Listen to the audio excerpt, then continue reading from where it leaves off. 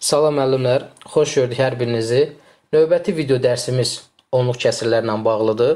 Onluq kəsirləri mövzusunu biz 2 dərsə izah eləyəcəyik. Birinci dərs onluq kəsirlərin oxunması, mərtəbə toplananlarına ayrılması, yuvarlaqlaşdırma və müqayisə. Digər dərsdə isə onluq kəsirlərin toplanması, çıxılması, vurulma və bölünməsi. Mövzu izahına keçməmişdən öncə müəllimlər, yeni MİQ və sertifikasiya hazırlaşan ibtidai sinif müəllimləri üçün yeni onlayn qruplarımız qeydiyyat davam eləyir və qruplara qoşulmaq üçün qeyd olunan nömrə ilə əlaqə saxlamağınız kifayətdir. Müəllimlər, biz zaman-zaman sınaqlarda, sonra video izahlarda adi kəsirlərlə bağlı müxtəlif suallara rast gəlirik və artıq adi kəsirlər sizlər üçün bir növ tanışdır. Və çoxlu sayda sualları nəzərə alaraq müdavimlərdən biz onluq kəsirlərlə bağlı qeyd olunan mövzuları qeyd elədik ki, mövzu izahı olsun. Əvvəlcə baxaq onluq kəsirlərin oxunmasına. Onluq kəsirlər nəyə deyilir? Tərifinə baxaq. Məxrəci 10, 100, 1000 davam eləyə bilərik təbii ki 10 min, 100 min, milyon və s. mərtəbə vahidləri olan adi kəsirlərə onluq kəsirlər deyilir. Adi kəsirlərdə kəsr xətti var idi. Onluq kəsirlər isə kəsr xəttinin deyil, vergülün köməyi ilə yazılır. Baxaq, vergül məsələn tutaq ki, bir biz onluq kəsir yazaq. Məsələn, tutaq ki, 4,5. İndi bunu oxuyaq, bu necə oxunur? Onluq kəsirlərdə nə var? Onluq kəsirdə tam hissə var. Yəni vergüldən əvvəl, baxaq, vergüldən əvvəl, yəni soldakı ədəd tam hissəni göstərir. Vergüldən sonra Yəni sağdakı hissə isə kəsr hissəni göstərir. Yəni bu kəsr hissənin, sağdakı bu kəsr hissənin yalnız sürətini göstərir. Əgər oxunması necədir? 4 tam 10-da 5. Müəllimlər, əgər vergüldən sonra bir rəqəm varsa, deməli adi kəsrin məxrəci 10-dur. Nəyə görə? Bir rəqəm sıfırların sayından asılıdır. Və biz burada oxuyan zaman 10-da sözünü işlədəcəyik. Artıq bu kəsirimiz oxunacaq 4 tam 10-da 5. Məsələn, sonra tutaq ki, burada onluq kəsirimiz bu formadadır. Məsələn, 4 tam belə bir. Bu zaman isə vergüldən sonra 2 rəqəm gələndə biz yüzdə sözünü işlədəcəyik. 4 tam yüzdə 51. 3 rəqəm gələndə, məsələn, elə bunun üzərindən baxaq. Belə olanda, 3 rəqəm olanda biz artıq mində sözünü işlədəcəyik. 4 tam mində 512. Təbii ki, bunu artırmaq olar 10 mində, 100 mində. Artıq burada nəyi gördük, müəllimlər? Demək, vergüldən sonrakı rəqəm neçə dənədirsə, bir dənə rəqəmdirsə 10-da olacaq, 2 rəqəmdirsə 100-də olacaq, 3 rəqəmdirsə 1000-də olacaq, 4 rəqəmdirsə 10 mində olacaq. Bax, bu formada biz bunu yazacağıq. Və vergüldən sonrakı hissə nəyə göstərir? Vergüldən sonrakı hissə bizdə kəsr hissəni göstərir və bu ancaq kəsrin sürətini qeyd edirik. Bəs onluq kəsir mərtəbə toplananlarında necə göstərilir? Biz adi natural ədədlərin mərtəbə toplananlarını bilirdik. Mərtəbə toplananları necə olurdu? Məsələn, e, mərtəbə toplananlarının 462 ədədini müəllimlər mərtəbə toplananlarının cəmi şəklində necə göstəririk? Təklik, onluq, yüzlük. Biz sağdan sola doğru ayırırdıq. Təklik, onluq, yüzlük. Bərabərdir. 4 vurulsun 100. Üstə gələk 6 onluq. 6 vurulsun 10. Üstə gələk 2 təklik 2 vurulsun 1. Bunu başqa cür də belə yaza bilərdik. Bərabərdir. 400 üstə gələk 60 üstə gələk 2. Yəni bu formada da yaza bilərik. Bu yazılış nə adlanır? Ədədin mərtəbə toplananlarının cəmi şəklində göstərilməsidir. Bəs bu onluq kəsirlərdə necə olur? Buna baxaq. Məsələn, tutaq ki, böyük bir onluq kəsir şəkli, onluq kəsir yazaq və onluq kəsiri mərtəbə toplananlarının cəmi şəklində yazaq görək. Onluq kəsir mərtəbə toplananlarının cəmi şəklində necə göstərilir? Məsələn, belə bir onluq kəsir yazaq. Tutaq ki, bu artıq bizə kiçik xatırlatma idi bayaqki ilə bağlı. 456 tam böyük yazıram ki, bütün mərtəbələri, yəni bütün mərtəbə deyəndə ən az 100 mərtəbələrə qədər, 100 100-lük mərtəbələrinə qədər biz bunu yaza bilərik. 10000-də 2379. Bizə sual düşə bilər ki, bərabərdir. Buradan bunu yazaq. Bax bu onluq kəsiri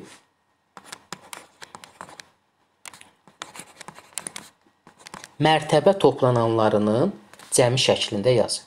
Baxın müəllimlər, siz dərsə qulaq asdıqca özünüz üçün bir qeyd dəftəri təbii ki, mütləq götürməlisiniz. Bu dediklərimi videonu dayandıraraq özünüz üçün qeyd aparsaz daha yaxşı yadınızda qalacaq. Onluq kəsiri mərtəbə toplananlarının cəmi şəklində necə göstəririk? Onluq kəsirin tam hissəsi, tam hissə biz hansı hissəni demişdik? Vergüldən əvvəlki hissə 456 tam. Tam hissə natural ədədlərdə olduğu kimidir. Bax, burada yuxarıda bu nümunəni mən göstərdim. Bunu buna görə göstərmişdim. Tam hissə natural ədədlərdə hansı formada göstəririksə, o formada göstərəcəyik. Kəsr hissənin mərtəbələri isə vergüldən sağda, yəni bu, bu vergüldən sağda birinci ədəd onda birlər olur, yüzdə birlər olur. Burada biz mərtəbələr 10, 100, 1000, amma buralar burada isə onluq kəsirdə isə artıq onda birlər, yüzdə birlər, mində birlər və s. Bu qaydadır. Və biz indi bu qaydamızı praktik olaraq yerinə yetirək. Yəni yazı olaraq baxaq görək bu necə olur. Nə dedik müəllimlər? Dedik tam hissə, yəni 456 tam natural ədədlərdə olduğu kimidir. O zaman biz bu ədədi, bu natu belə deyək də, onluq kəsiri mərtəbə toplananlarının cəmi şəklində göstərir. 456-nı başlayaq. Hələ tam hissəyə baxıram. Kəsr hissə ilə işim yoxdur. Baxın, vergüldən sağ hissəyə baxıram.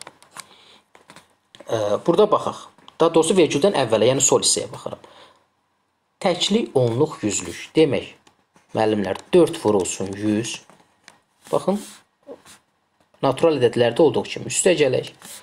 5 vurulsun, çünki 5 onluq mərtəbəsində. 5 vurulsun. 10 üstə gələk. 6 vurulsun 1. Bunu belə birbaşa 6 da yaza bilərik, amma təklikdir 1 yazaq. Aha. Üstə gələk, təbii ki, hər birində üstə gələk olur. Bax, əsas məsələ, yəni bu ə, müəllimlərin çaşdığı o, o çaşma ə, daha çox çaşdığı isə bu vergüldən sonrakı hissədir. Burada nəyə fikir verəcəyik? Dedik, vergüldən sonra, vergüldən sonra gələn birinci ədəd, yəni ilk ədəd, bax bu vergüldən sonra gələn ilk ədəd, sağda birinci ədəd, onda birlər olur. Necə yazacağıq bunu? 2 vurulsun, 2 vurulsun, 0 tam onda 1. Yazırıq 2 vurulsun, 0 onda 1. Üstə gələk. 2-dən sonra 3 gəlir. 0 onda 1, 0 tam yüzdə 1. Aha, demək burada 3 vurulsun, 0 tam yüzdə 1. Üstə gələk. Davam edirik müəllimlər. Onda 1, yüzdə 1, yüzdə 1-dən sonra var bizdə nə? Mində 1. Demək 7 vurulsun 0 tam mində 1. Aydındır müəllimlər? Burada da 7 vurulsun 0 tam mində 1. Üstə gələk 9 vuraq. 9 vuraq nə olacaq? Onda 1, yüzdə 1, mində 1 artıq qaldı 10 mində 1. İndi bura sığmır. Bunu yazaq 9 tam 0 9 vurulsun 0 tam mində 1 yazdıq 10 mində 1. 10 mində 1. Hə, burada bir şey də qeyd edeyim müəllimlər. Biz deyirik 0 tam onda 1. Bəs 0 tam yüzdə 1-i necə yazacağıq? Müəllimlər, vergüldən sonra yüzdə demək neçə 0 var? 2 dənə 0 var. Bax bu 2 dənə 0-ı biz 1 deyirsə, birdən qabaq bir dənə 0 yazaq ki, burada 2 rəqəm olsun. Demək, burada tamamlamaq üçün biz nə edirik? Əgər məx buradakı 1 yüzdə 1 deyir, amma bir məxrəcdə az olduğuna görə vergüldən əvvələ, vergüldən sonraya neçə rəqəm əksik olursa, o qədər 0 yazırıq. Bu qaydadır. Qaydanı praktik olaraq yenə deyirəm. Baxın, 0 tam yüzdə 2. Fikirləşirik ki, yüzdə 2 dənə 0 var. Bəs mən yüzdə 2 necə yazmalıyım? Bura bir 0 yazıb 2. Yəni çatışmayanı məndə qaydadır ki, vergüldən sonra 100 deyirsə 100-də 2 dənə 0 var, 2 rəqəm olmalıdır. Və məsələn, tutaq ki, 0 tam 1000-də 17 yazmalıyıq. 1000-də 17-ni necə yazacağıq? 0 tam 0-dan 1000-də sözü varsa qaydadır. Vergüldən sonra neçə rəqəm olmalıdır? Vergüldən sonra 3 rəqəm olmalıdır. Aha. 1000-də 17. Bəs fikirləşirik ki, 17-ni necə yazaq? Yazıram 0 17. Demək, müəllimlər, bu nə oldu? 0-dan 1000-də 17. Burada nəyi öyrəndiniz? Tamamlamaq üçün əvvələ 0 yazırıq. Və burada indi qaydadan digər qayda doğur. Vergüldən sonra əgər belə yazırıqsa, baxın. 0 tam 1. Burada neçə dənə 0 yazsaq artıq bu sifirin heç bir mənası olmur. Yəni 0 tam %10, 0 tam onda 1 demək. Nəyə görə bunda belə yazırıq? Çünki müəllimlər 0 tam yüzdə 0 tam %10 deyəndə bu %10 onsuz da ixtisar gedir, yenə qalır 0 onda 1. Yəni belə yazmaq, bax 0,70 bərabərdir 0,7-yə. Yəni 0,70 0,7-yə bərabərdir. Yəni vergüldən sonra sıfırın bu formada yazılmasının elə bir önəmi olmur. Yəni bu artıq 0,7 deməkdir. Yaza da bilərik, yazmaya da bilərik. Amma bu formada yazanda təbii ki, bunun önəmi var. Burada 10 mində desəydi 4 dənə. Yəni siz bunu artıq beyninizdə qayda kimi deyirsinizsə, yad, yad, e, yadda saxlayırıq ki, sıfırdan sonra bir rəqəm olursa bu 10-da olur, 10-da kim oxunur? 2 rəqəm varsa bu 100-də olur, 3 varsa 1000-də, 10 mində. Yəni mində dedi, mində deyən anda, yəni məsələn 0 tam tutaq ki, 4 tam mində neçə deyən kimi fikirləşir ki, 4 tam vergüldən sonra mindəki sıfırların sayı qədər rəqəm olmalıdır. Yəni 3 dənə. Bu qaydada. İndi burada da 9 vurulsun 0 tam 10 mində 1. Yəni bunu belə yaza bilərik də, o düşsün bura, eyb yox. Vurulsun. Bunu buradan silək. Davam edək. Aha. Üstə gələk. 9 vurulsun. Demək, müəllimlər nə yazırıq? 10-da 1 yazılıb, 100-də 1 yazılıb, 1000-də 1 yazılıb, demək 10 mində 1 olmalıdır. 9 vurulsun, 10 min, 0 tam 10 mində 1. 0 tam 10 min. 10 min dediyinə görə demək bilirik ki, 0-dan sonra 4 dənə rəqəm var, amma 1-dir. Bunun 3-ünü mən 0-la əvəzləşdirirəm, 1-i də yazıram. Demək, əski rəqəmləri, çatmayan rəqəmləri 0-la əvəzləşdirirəm. Bu artıq oldu mərtəbə toplananlarının cəmi şəklində yazılır. Bunu biz vuraq-vuraq yazdıq. İndi bunu belə də yaza bilərik. Bu bərabərliyi bura yazıram təzədən. 400 yəni 400-ə vuranda üstə gələk.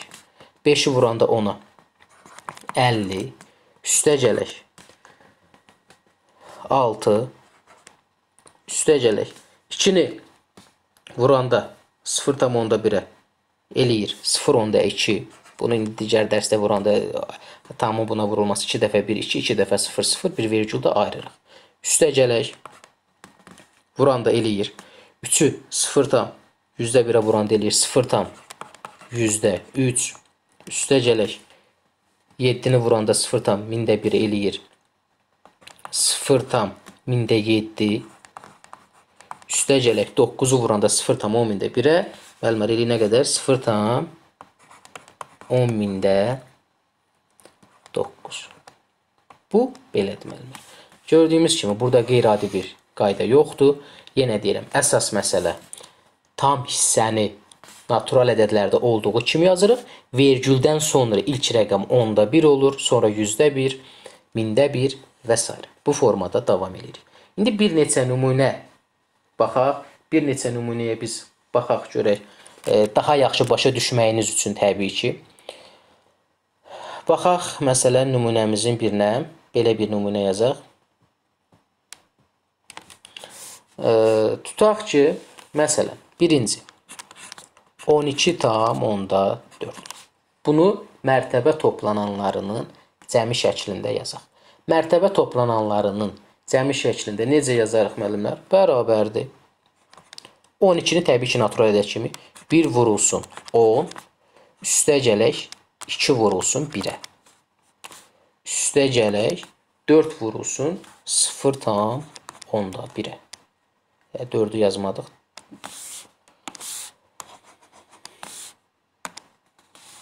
Dörd vurulsun 0 onda 1-ə. Və bunu təzədən biz 10 üstə gəl, 2 üstə gəl 0.4 formasında yaza bilərik. Bir də bunu belə davam eləyək. 10 üstəgələk 2 üstəgələk 0.4. Müəllimlər, bu nə oldu? Onluq kəsirin mərtəbə toplananlarının cəmi şəklində göstərilir. Digər bir nümunəyə baxaq. İkinci. Məsələn, 34 tam yazaq özümüzə. 34 tam %45 bərabərdir. Bunu mərtəbə toplananlarının cəmi şəklində yazanda necə yaza bilərik? Tam hissəni natural ədədlərdə olduğu kimi yazırıq. Yəni 34-ü biz yazacağıq. 3 vurulsunun üstə gələk 4 vurulsun 1 üstə gələk vergüldən sonra ilk rəqəm, yəni vergüldən sağdakı ilk rəqəmi yazıram. 4 vurulsun 0.1 üstə gələk 5 vurulsun onda 1 yazdıq, növbəti gəlir yüzdə 1. Yəni burada ox beləsinə ox qoyuram, bax belə baxırıq. Bu da eləyir 5 vurulsun 0 tam yüzdə 1 bərabərdir 30 üstə gələk 4 üstə gələk 4-ü vuranda 0 onda 1-ə 0 onda 4 üstə gələk 5-i buna vuranda müəllimlər eləyir 0 tam yüzdə 5. Bu da ikinci e, bir onluq kəsiri mərtəbə toplananların cəmi şəklində göstərməyimiz. Sonra var üçüncü bizdə nə? Belə bir yazaq 3 tam mində, bax mində dediyinə görə 3 rəqəm təbii ki olacaq. 387. Burada burada necə yazacağıq? E, müəllimlər, təbii ki birinci vergüldən əvvəldə bir rəqəm var. Yəni bir rəqəm təkliyimiz var. Burada 3-ü necə yaza bilərik? 3 vurulsun 1. Çünki onluğu yoxdur, yüzlüyü yoxdur. Üstə gələk. Vergüldən sonra 3 var. Demək 3-ü yaza bilərik. İlkini 0.1 üstə gələk. 8-i yaza bilərik. 8 vurulsun 0 tam yüzdə 1 sonra üstə gələk 7 vurulsun. 0 tam. Mində 1. Onda birini yazdıq, yüzdə birini yazdıq, mində birini yazdıq. Və bunu da təzədən biz 3 üstə gələk 3-ü 0 onda 1-ə vuranda 0 tam onda 3 üstə gələk 0 tam. Mində yüzdə 8 üstə gələk 0 tam mində 7 0 tam mində 7. Bu da oldu müəllimlər. Bizdə onluq kəsirin mərtəbə toplananlarının cəmi şəklində göstərilməz. İndi siz bu nümunələri yazıb təkrar-təkrar baxdıqdan sonra özünüz üçün 4-5 onluq kəsir götürüb yaza bilərsiniz. Videonun şərh hissəsinə də qeyd edə bilərsiniz. İndi isə müəllimlər mərtəbə toplananlarını cəmi şəklində göstərdik. İndi isə keçək yuvarlaqlaşdırma. Yəni onluq kəsirlərin yuvarlaqlaşdırması. Yuvarlaqlaşdırma. Yuvarlaqlaşdırma da onluq kəsirlərdə önəmlidir. Elə ən çox sual bununla bağlı verilir. Baxaq onluq kəsirlərin yuvarlaqlaşdırması necə olur. Məsələn, biz müəllimlər bir dənə onluq kəsir götürəcəyim. Onluq kəsirləri təkliklərə qədər yuvarlaqlaşdıracağıq, onluqlara qədər yuvarlaqlaşdıracağıq, yüzlüklərə qədər və artıq biz mərtəbə toplananlarında bunu qeyd elədik.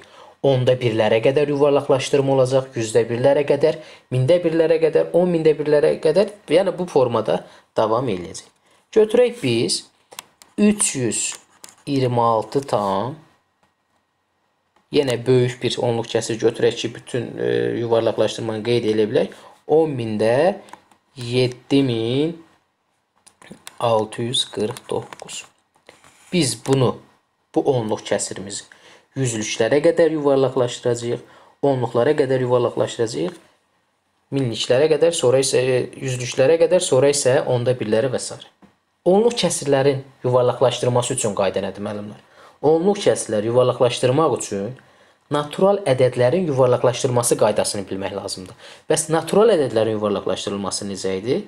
Hansı mərtəbəyə qədər yuvarlaqlaşdırma tələb olunursa, həmin mərtəbəni qeyd eləyirik. Yəni məsələn 10-luq deyirsə, 100-lük deyirsə, altından xətt çəkirik.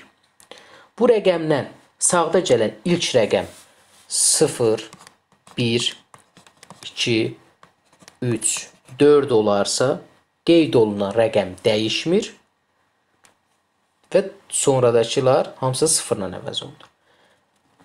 Əgər qeyd olunan rəqəmdən sağdakı ilk rəqəm 4-dən böyük, məsələn 5, 6, 7, 8, 9 rəqəmləri olarsa, o zaman bir vahid əlavə olunur həmin rəqəmin üzərinə qeyd olunan rəqəmin və bu rəqəmin sağındakı bütün rəqəmlər sıfırla əvəz olunur.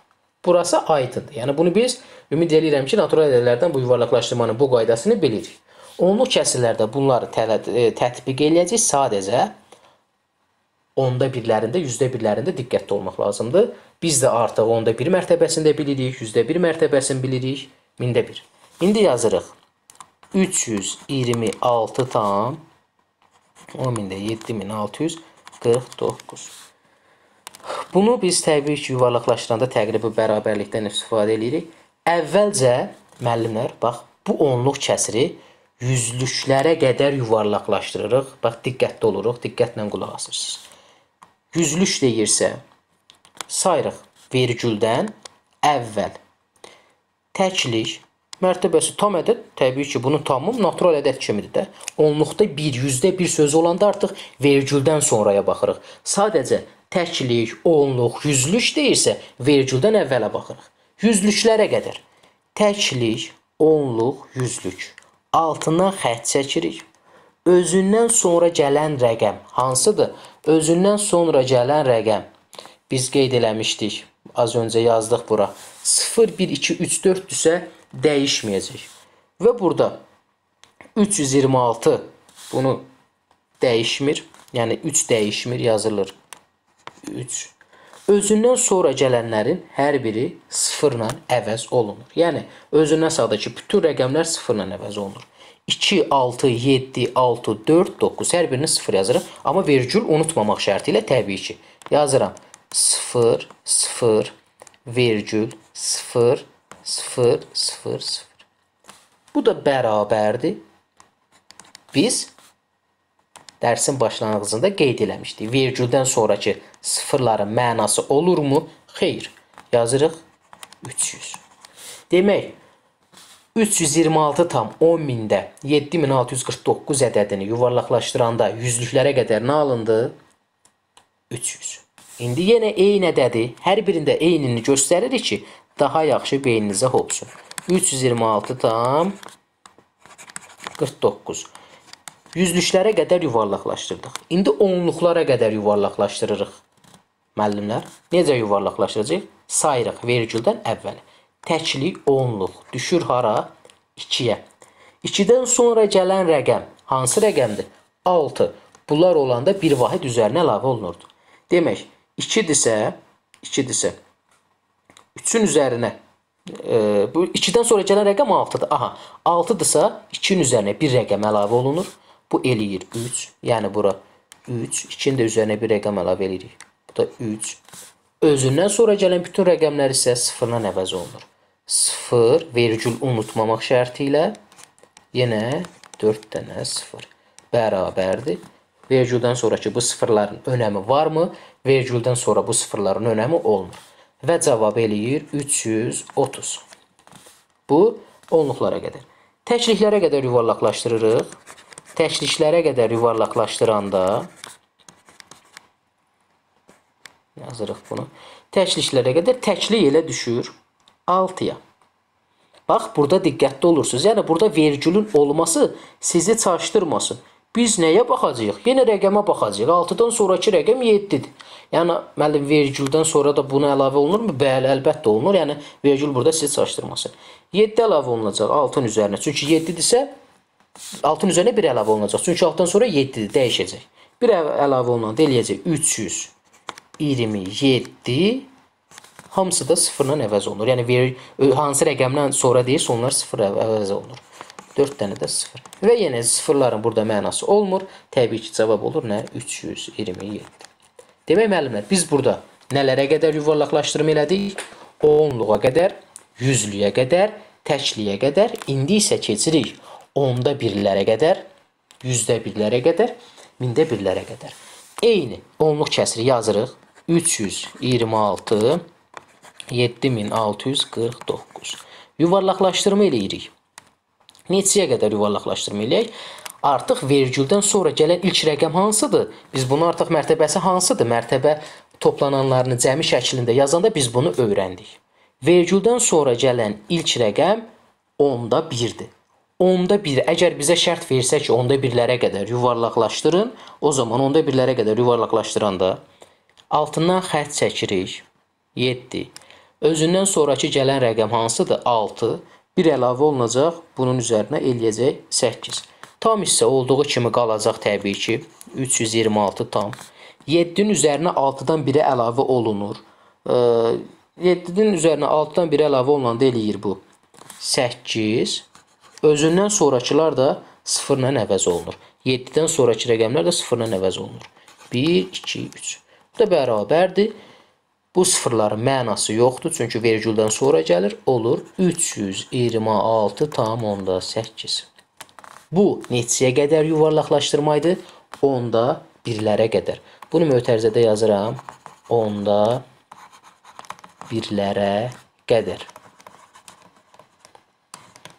Sonra eyni ədədi 326 tam ədədini biz yuvarlaqlaşdıraq yüzdə birlərə qədər. Yüzdə birlərə qədər yuvarlaqlaşdıranda necə eləyəcək? Yüzdə birlərə qədər yuvarlaqlaşdıranda onda bir, yüzdə bir mərtəbəsini qeyd edirəm 6. 6-dan sonra gələn rəqəm 4-dür. Dəyişəcəkmi? Dəyişməyəcək. Təqribi bərabərlik bərabərdir. Tam hissə qalır təbii ki 326-dan. E, demək biz alt qeyd elədik hansını? 6-nı qeyd elədik %1, özündən sonra gələn rəqəm 4-dür. Dəyişməyəcək, yəni 76 qalacaq. Sonrakılar da 0 ilə əvəz olunacaq. Bu da bərabərdir. Bu iki sıfırın da artıq önəmi olmur. Qalır 326 tam %76. Bu neçə qədər oldu? Bu yüzdə birlərə qədər. Yüzdə birlərə qədər. Birlərə qədər. Növbəti Mində birlərə qədər də yuvarlaqlaşdıraq. 326 tam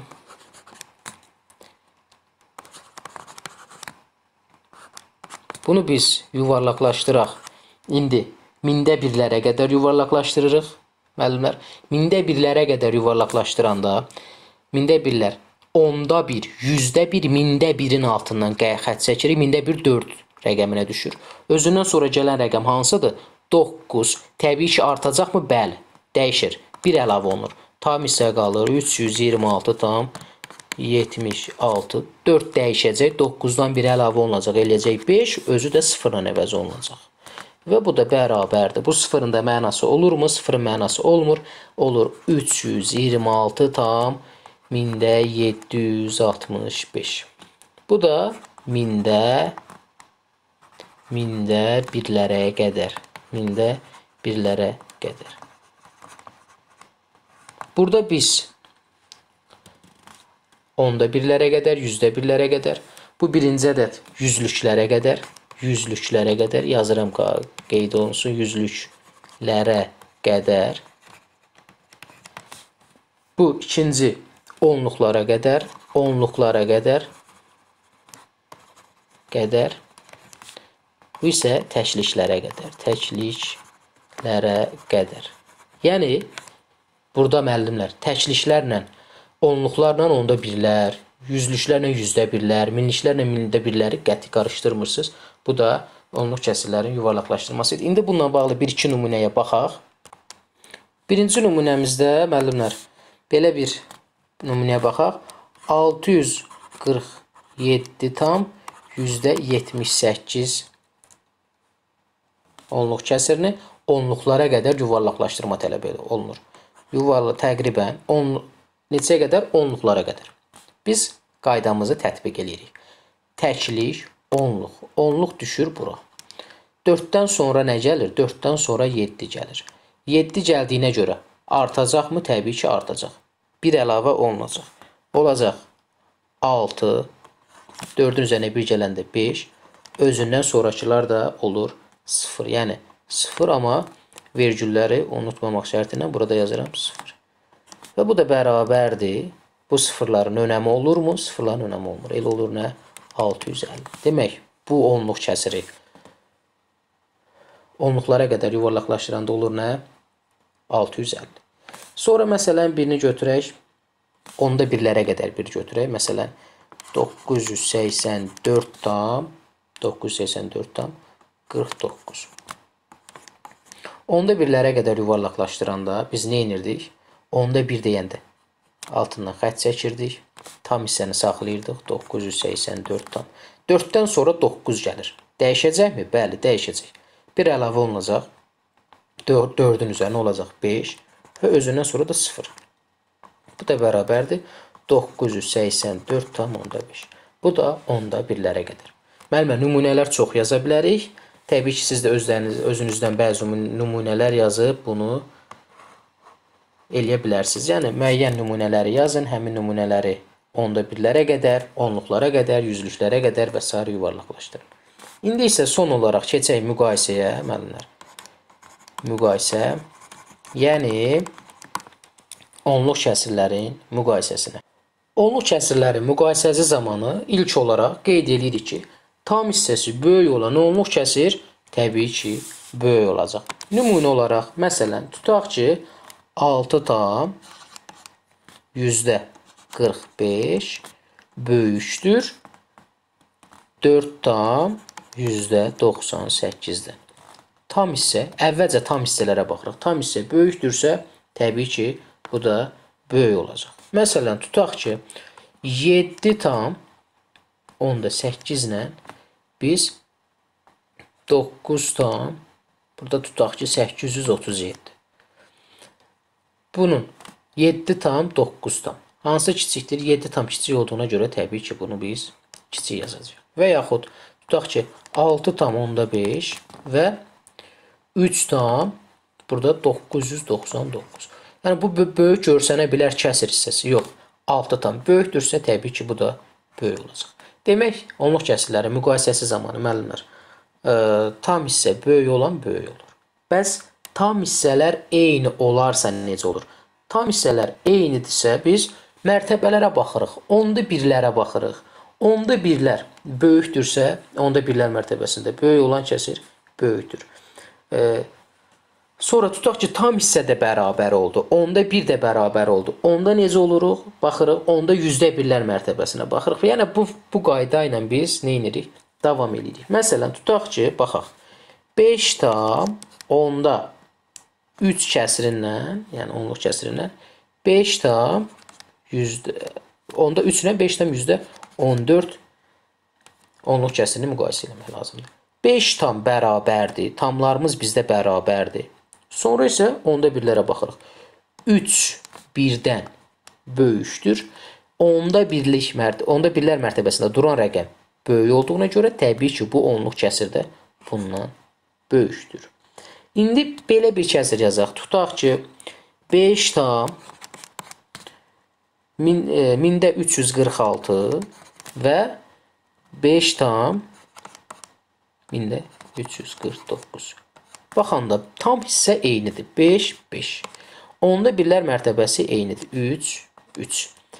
Ee, sonra baxırıq yüzdə birlər 4 4 eynidir. Amma baxın burada 6. Kiçikdirmi? Bəli, kiçikdir. O zaman bu olur necə? 5 tam 1346 kiçikdir 5 tam 1349-dan. Bu da aydın məsələdir. Burada biz belə bir qayda deyə bilərik. Müəllimlər, bax məsələn tutaq ki 5 tam onda 3 kəsirini eyniləşdirə bilərik. 5 tam onda 3 ilə kəsir isə sizə heç vaxt e, fikrinizi yayındırmaz. Mən burada deyə bilərsiniz ki, müəllim, elə bu azı bura bir dənə 0 artıra bilərəmmi? Bəli. Çünki bu, bu hissələri belə rahat müqayisə eləyəndə. Yəni 3 böyükdür, bax belə də yaza bilərik. Və digər digərlərini də həmçinin. Demək, onluq kəsirləri müqayisəsi zamanı əsas birinci tam hissəyə baxırıq. Tam hissə böyük olan onluq kəsir böyükdür. Tam hissədən sonra keçirik onda birlərə, yüzdə birlərə və digər mərtəbələrə. Müəllimlər, bu onluq kəsrlərlə bağlı olan ilk dərsimiz idi. Yəni bunu təkrar-təkrar izləsəz, əminliklə deyirəm, onluq kəsrlərin oxunması, onluq kəsrlərin mərtəbə toplanılan cəmi şəklində göstərilməsi, əsas da onluq kəsrlərin yuvarlaqlaşdırılması və müqayisəsi ilə bağlı sizin artıq heç bir probleminiz qalmayacaq. Daha çox şəxsin yararlanması üçün müəllimlər kanala abunə olub paylaşmağı unutmayın. Hər birinizə uğurlar arzulayıram.